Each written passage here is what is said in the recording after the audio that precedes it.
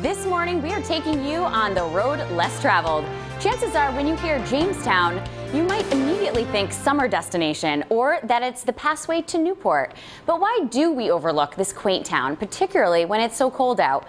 Well, I recently bundled up, headed to Jamestown, and guess what? I had a great time. Unless you're coming from Newport, you get to Jamestown by taking the Verrazzano Bridge. To come to Jamestown in the off season is a nice little getaway. It most definitely won't be crowded.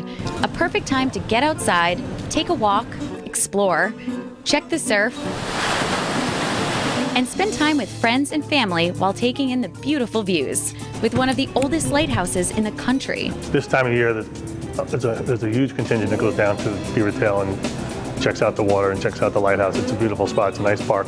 So that's probably the biggest draw to this island if you don't live here. You know, what's to come and see? It's at this time of year, it's going to be Beavertail. When you're ready to get back indoors, head into town. This time of the year, there's a lot less traffic, and street parking is, well, available.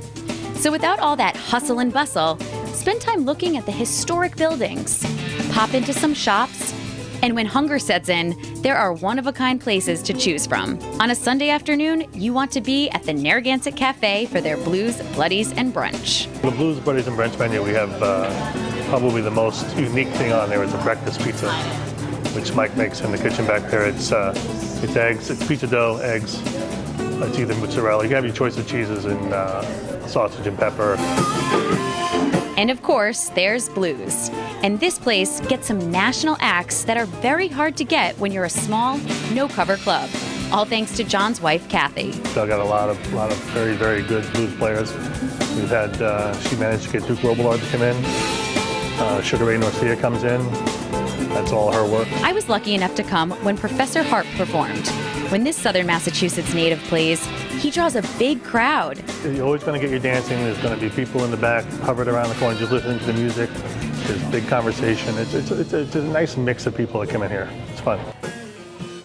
It really was a fun time. And it's Rhode Island after all, so of course I knew some people already there. Plus, it was really experiencing, uh, really fun experiencing Jamestown this time of year. So to find the story online, head to our website, WPRI.com, and click on the Rhode Show.